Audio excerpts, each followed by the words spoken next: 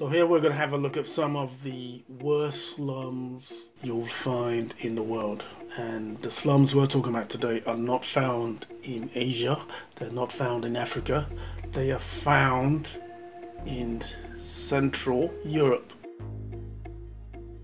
So what makes these slums some of the worst slums in the world? The fact that we are in the middle, Central Europe, and within the European Union. That's right these slums are all found within the EU. Now we know that the EU is comprised of 27 very wealthy countries within Europe, so it's unimaginable that you would find such poor conditions of housing within a lot of those countries. You will find Roma, also known as gypsies people that have migrated from India. For some of us in the West, we have had government support in these strange and unusual times. But imagine you live in a country that is part of the EU and yet you don't get any of that support. You don't get the support to allow you to get clean drinking water. You don't get support to help you have electricity and to get heating, and you don't have the support which allows you to feed your family.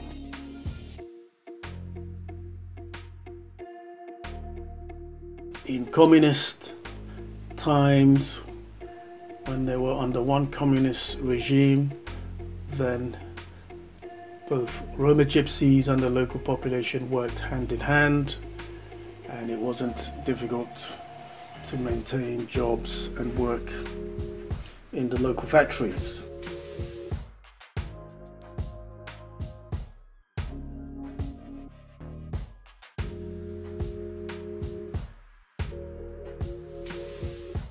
Well, the fact is that uh, Roma people have been living in Europe for over 800 years now. And it seems that there seems to be a systematic approach by the government of the various countries that we mentioned, and over time they've uh, stopped collecting their rubbish. They haven't maintained the sewer systems. They've slowly cut off the water supply and have also cut off the electricity, even though bills have been paid. So, as a consequence, over time, slowly but surely, these places have be- become, have turned into slums, and they seem to get worse and worse every year.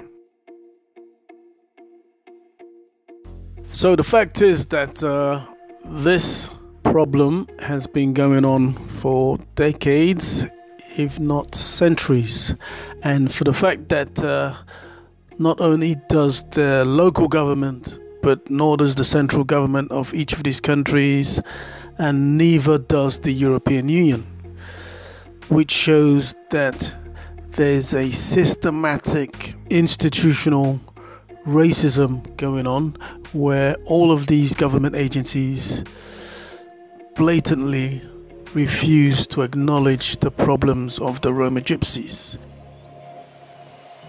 So, what are the possible solutions for this? So, obviously, the possible and uh, quickest solution to this is for the government and the European Union to open up its eyes and to repair the endless damage which the governments have inflicted on these communities for decades, if not centuries.